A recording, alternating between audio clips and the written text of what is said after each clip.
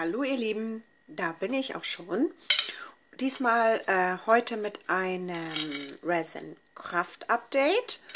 Craft Update, genau. Und äh, als erstes wünsche ich euch allen einen allen meinen Zuschauern einen ganz tollen Valentinstag. Viele liebe Grüße und äh, ich hoffe, ihr hattet einen schönen Tag. Ich habe Blumen bekommen und ein bisschen Schoki von meinem Mann und von meiner Tochter und da habe ich mich sehr gefreut. Und bevor ich jetzt lange sabbel, fange ich auch am besten gleich mal an. Hier ist schon alles drauf, das packe ich mal zur Seite und dann geht es auch schon los. Und zwar habe ich so kleine Herzen gemacht. Da ist so ein ähm, so ein ähm, kleines Löchlein drin. Und da habe ich so ein eine Strassblüte aufgesetzt. Ja, ein bisschen Glitzer habe ich drin. Orange Glitzer. Von hinten ist es so gelassen. Vielleicht mache ich die Ränder noch ein bisschen glatt. Die sind noch ein bisschen scharfkantig. Aber ähm, ja, ich denke, das werde ich noch machen. Genau, von diesen Herzen habe ich einige gemacht. Mal eben gucken. Hätte ich ja auch mal vorher sortieren können, weil nämlich auch Magnete wieder dabei sind. Dann habe ich so ein Herzchen. Ja, ja, so ein Herzchen, genau. Mit, ähm, hier ist dieses Loch, da habe ich gar nichts reingesetzt, mit einem kleinen Schlüssel dran. Und auch von hinten, ganz normal, nicht beglimmert. Dann habe ich, auch das nervt mich ein bisschen, hm. einmal dieses Herzchen, auch mit einem Schlüsselchen dran.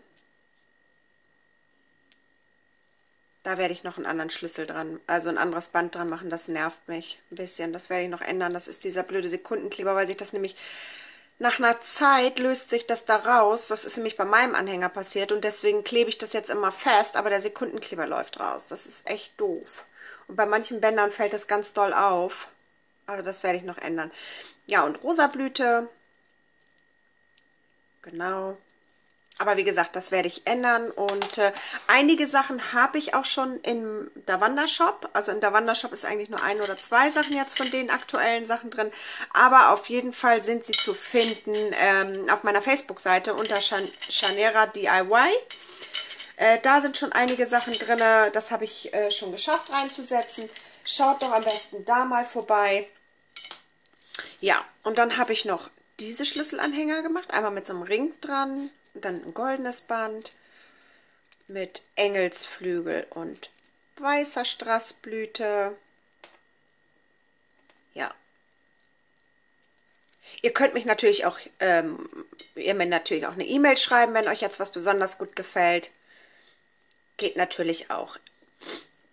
Weil wie gesagt, alles ist noch nicht im, äh, im Internet, im Shop, aber einiges. Dann habe ich noch so einen gemacht so einem Organza-Band dran und einem Handmade, ähm, einer Handmade-Hand sozusagen. Gold. Hier ist es so ein bisschen Roségold. Ich habe das da einfach mal ausprobiert, mit mehreren Farben zu spielen. Aber es gefällt mir irgendwie nicht so gut. Mm, hier habe ich ähm, wieder so ein Herzchen mit diesem Band. Auch mit Schlüssel. Ja. Dann habe ich einmal auch mit Schlüsselring und Band, so eins, auch mit einem Schlüsselchen dran, mit ähm, gelber Strassblüte. Ja, genau. So, dann habe ich noch andere Herzen gemacht. Mal eben suchen. Zwei, drei, vier, als nächstes muss ich die Magneten nehmen. Die kleben hier alles dicht. Und zwar habe ich ein rotes Herzchen mit einer rot-gelben Fimo-Blüte drauf. Ich glaube, ich werde die Fimo-Blüte noch lackieren. Das gefällt mir besser, wenn sie lackiert ist. Und dann so ein Band Made with Love. Und einem kleinen ähm, Schlüssel an, ähm, heißt denn das? Na, wie heißt denn das? Ich komme nicht drauf. Oh, wie peinlich. Schloss. Genau, mit einem Schloss dran. Och nee. auch hinten ist das so belassen. Auch nichts gemacht. Ja, das gefällt mir total gut. Dann habe ich äh, so ein Herz gemacht. Ähm, Love, Love steht drauf, mit einem kleinen Sticker eingegossen. Hier so ein kleinen Jelly aufgeklebt, ein Sternchen dran gemacht, ein rosa Band mit weißen Tupfen drauf. Und auch das ist ganz normal weiß. Und es glitzert natürlich auch, was man jetzt irgendwie in der Kamera nicht so sieht. Meine Tochter fand das Herz ganz toll und hat heute vorgelesen und hat gelesen, Lofee, Lofee. Ich fand es total witzig, ich musste so lachen. Jetzt machen wir uns da mal einen Spaß draus. Das ist Lofee, Lofee. Also, wie gesagt, Love, Love. Und ja, ganz niedlich. Für Verliebte oder auch einfach nur so. Für alle, die die Herzchen mögen. Dann habe ich hier ein grünes Band mit weißen Punkten, so kiwifarben, mit zwei verliebten Kätzchen drin. Auch das Herz glänzt. Habe hier noch einen passenden ähm, Steinchen aufgesetzt und Sternchen. Und an, als Anhänger, als Charm ist eine Katze dran. Auch hinten ganz normal gelassen. Und ja. Und dann habe ich noch ein Herzchen mit einem bronzefarbenen Glitzerband mit Pfote und hier sitzen so zwei kleine Kawaii-Kätzchen in einem Korb. Das habe ich so gelassen. Fand ich total niedlich. Und das gefällt mir auch richtig gut. Ja, als Charm ist eine kleine Pfote dran. Ja. So, dann mache ich als nächstes, wie gesagt, die Magnete. Die kleben hier meine ganzen Dinger zusammen. Wie viele Magnete habe ich denn eigentlich? Äh so, fünf. Und zwar habe ich einmal hier eine kleine schwarze Pfote mit roten Tatzenabdrücken und goldenes Stäbchenglitter drin und habe auf eine Tatzen, auf eine C-Abdruck so ein kleines Sternchen gesetzt. Hinten ist ein kleiner Magnet dran und die sind so aus China. Habe ich aus Chinesien gekauft bei Wish, beziehungsweise mein Mann. Und die sind Bombe. Die halten so stark, obwohl die so klein sind. Das hätte ich nie im Leben gedacht. Also die können echt einiges tragen. Ich habe hier mal, vielleicht funktioniert das ja, eine Schere, so eine kleine Bastelschere. Und da hält sogar eine Schere dran. Also das ist echt irre, was die halten. Dafür, dass sie so klein sind. Sind wirklich richtig, richtig gut, diese Magneten. Kann ich nur jedem empfehlen. Also da habe ich mir auch heute gleich nochmal welche nachgeordert. In Großpaket. Ich glaube 100 oder 50 oder 100 Stück. Ich weiß es nicht genau. Müsst ihr mal googeln. Für einen Euro ist echt super gut. Also googeln bei Wish natürlich. So, dann habe ich hier noch ein durchsichtiges Pfötchen mit blauem Glitzer habe ich reingemacht, so türkisfarbenes Glitzer und habe hier lila und habe ähm, auch hier eine kleine Blume. Genau, auch dieser kleine Magnet hinten drauf. So, dann habe ich noch eine rote Pfote mit schwarz. Und das glitzert so viel, da habe ich gar nichts mehr drauf geklebt, weil ich dachte, das reicht eigentlich auch. Aber diese Katzenpfötchen, die werden ja leider nicht so, weil bei mir kommen ja immer... Das sind auch die einzigsten irgendwie, die geworden sind, weil bei mir kommen irgendwie immer kleine Bläschen rein bei diesen Katzenpfötchen. Das nervt mich ein bisschen.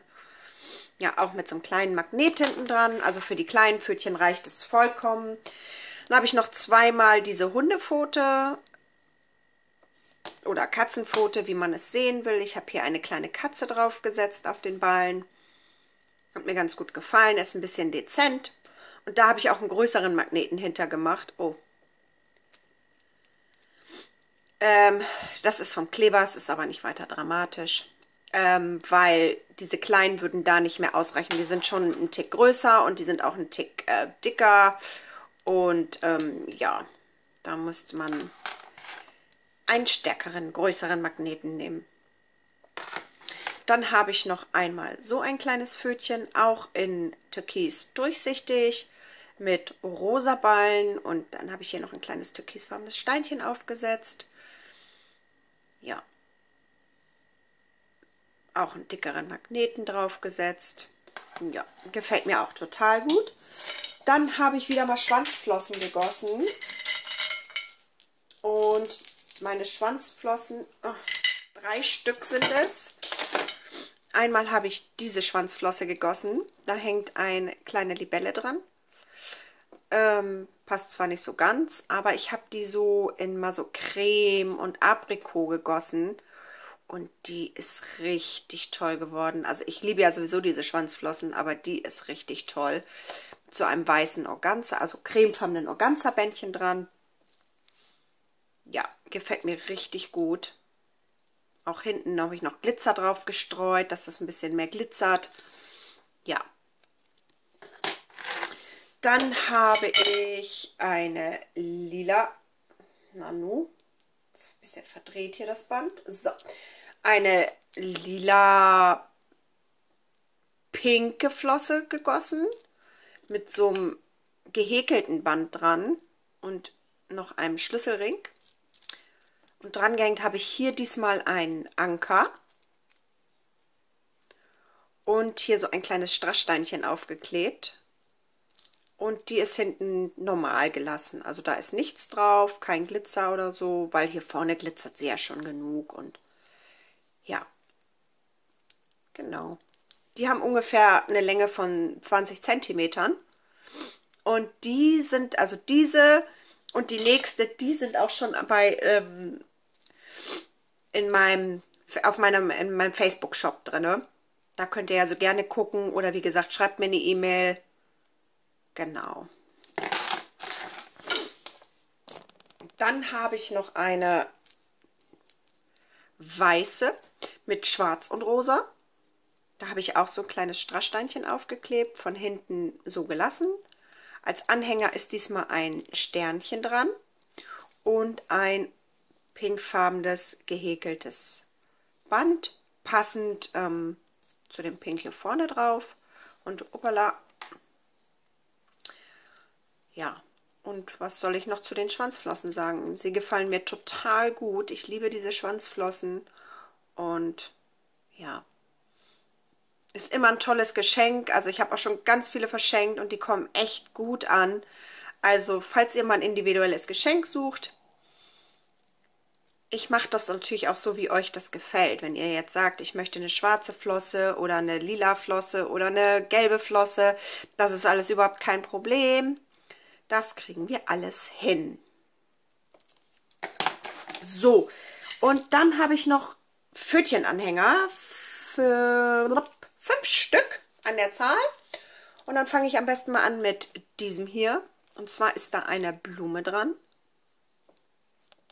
ein Blumenanhänger, ein lila-weiß kariertes Band, ein Pfötchenanhänger, ups, ein Pfötchenscham und die Pfote ist gegossen mit ähm, weiß, also durchsichtig, transparent, mit türkisem Glitzer. Ja, jetzt kann ich das nicht so rum. Muss ich es auf, auf dem Kopf, muss die Pfote auf dem Kopf stehen und habe hier noch so eine kleine äh, Strassblüte aufgesetzt. Ja, gefällt mir auch total gut. Von hinten so gelassen, weil es sieht total hübsch aus mit diesem Glitzer drinne. Dann habe ich eine schwarze Pfote, auch wieder mit Rot und Gold. Habe ein goldenes Sternchen noch aufgesetzt ein Pfotenanhänger dran gemacht, Pfotenscham und diesmal an einem Herzchen-Schlüsselanhänger mit einem roten Band. Und auch von hinten so gelassen. Man sieht ja noch Glitzer. Dann habe ich eine weiße Pfote mit lila Ballen. Da habe ich dann noch ähm, ein lila-weiß gepunktetes Band dran. Jetzt hat sich das hier schon wieder verdreht. Mit einem Blumenschlüsselring, Pfötchen, Charm dran und habe da noch ein kleines Herzchen auf den Ballen gesetzt und hier zwischen auch noch ein paar Strasssteine gesetzt. Fand ich mal ganz witzig. Und von hinten auch nichts dran gemacht. Upsala. Einfach weiß gelassen. Und den finde ich auch richtig schön von den Farben. Gefällt mir richtig gut. Dann habe ich äh, noch Katzenpfötchen gegossen. In durchsichtig türkis mit rosa Ballen. Und klein habe ich hier noch ein türkisfarbenes Strasssteinchen aufgesetzt auf den Ballen. Auch ein Pfotenscharm dran, ein türkisfarbenes Band und ein Herzchen Schlüsselring. Genau, da kann man auch noch was dranhängen. Kann man entweder als Schlüsselanhänger, als Auto, für einen Autoschlüssel oder so. Ja, genau. Und der letzte Anhänger ist auch wieder ein roter, ist eine Katzenpfote. Rot mit schwarzen Ballen. Da habe ich diesmal nichts drauf geklebt. Mit einem kleinen Pfötchen dran, Pfötchenscham, von hinten nichts. Ein schwarzes Band und ein ganz normaler runder Schlüsselring. Genau, wenn euch das ein oder andere gefällt, wie gesagt, meldet euch, schreibt mir gerne. Ähm, ihr habt mir leider auch immer noch nicht geschrieben, ob ihr mal Lust hättet auf andere Bastel-Updates von mir. Ich mache ja auch noch andere Sachen. Also ich kann euch jede Menge noch von Fimo zeigen oder mal mit äh, Nespresso Kaffeekapseln oder mit mit Aludraht, wie auch immer. Ähm, Würde mich mal interessieren, ob ihr da Interesse dran habt. Und ich wünsche euch noch einen schönen Abend und bis zum nächsten Mal. Tschüssi!